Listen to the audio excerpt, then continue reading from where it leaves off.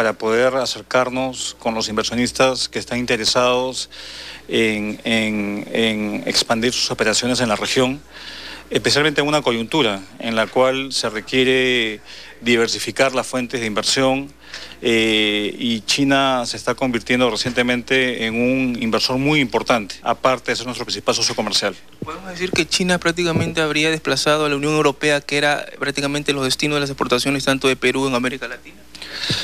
Bueno, yo creo que principalmente en el caso de los países productores de materia prima, eh, China es el principal socio comercial de, Perú, de Chile, eh, creo que crecientemente Brasil. Eh, entonces sí hay un factor de desplazamiento, pero en nuestro caso, por ejemplo, tenemos una oferta exportable por destino bastante diversificada. Más o menos va un quinto a los países asiáticos, un quinto a Europa, un quinto a Estados Unidos, un quinto al, al resto de América Latina y un quinto al resto del mundo. Entonces nuestra eh, nuestros socios comerciales están bien distribuidos.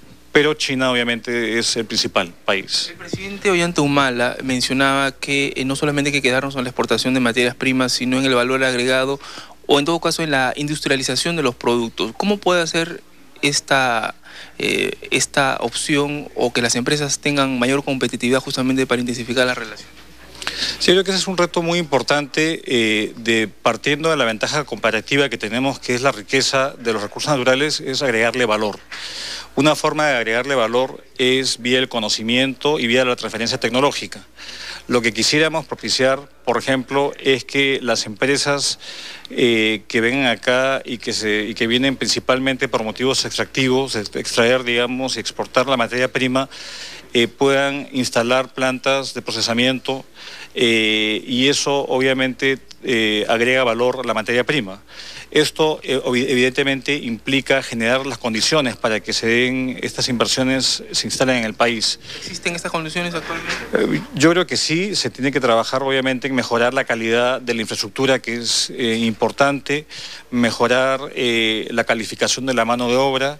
Han habido importantes progresos y el Perú yo creo que tiene un, un gran potencial, aparte de su rico acervo en recursos naturales, es que tiene una apertura comercial muy importante con muchos países, más del 80% del comercio nuestro está amparado bajo un tratado de libre comercio, a diferencia de otros países que no lo tienen.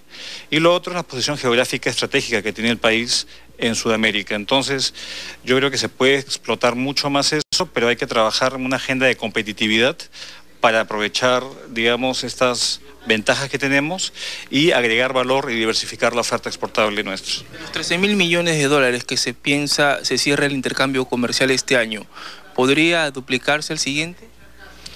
Eh, mucho va a depender, eh, evidentemente, de los precios internacionales eh, de las materias primas, que como sabemos probablemente tengan un menor crecimiento que lo observado en años pasados por la crisis financiera, pero sí, sin duda, hay un potencial importante. De comercio que se está dando y de hecho este tipo de encuentros lo que hace es catalizar mayores inversiones y mayor comercio hacia la, región y el Perú en particular. Se habla de más de 6.000 eh, empresas que ya intercambian negocios comerciales entre Perú y China. Eh, este número podría incrementarse de aquí a los cinco años porque también se prevé eh, la, incrementarse la inversión de China hacia nuestro país. Sin duda, yo creo que esta es una magnífica oportunidad para que se incremente la presencia de inversionistas chinos. Lo que queremos también es que sean inversionistas que sean respetuosos del medio ambiente, que sean respetuosos de la comunidad. Eh, yo creo que eso es un factor muy importante. Queremos inversión eh, responsable eh, y, que, sea sostenible y, en el tiempo. y hay muchas oportunidades, no solamente en el sector extractivo, sino en otros sectores que creemos que tienen un gran potencial y que pueden beneficiarse de mayor inversión e intercambio comercial con los chinos. Ministro, una última consulta. ¿Cómo se ve al Perú en este momento con esta cumbre y prácticamente internacional? Creo que el Perú está en, una, en un momento muy importante, muy expectante, porque de las economías emergentes eh, cuenta con eh, tres factores que son muy importantes. Una plataforma de estabilidad macroeconómica eh, que la distingue del resto de países de la región. Dos, ya ha avanzado en una agenda de apertura comercial importante. Y, y tercero, es que está trabajando muy activamente en tener un crecimiento mucho más eh, amplio y, mejor distribuido. Este, la inclusión social es muy importante en este concepto, entonces esos tres conceptos de estabilidad macroeconómica, apertura comercial y eh, políticas activas de inclusión social hacen al país un país muy atractivo para la inversión y el comercio. Bueno, las palabras entonces del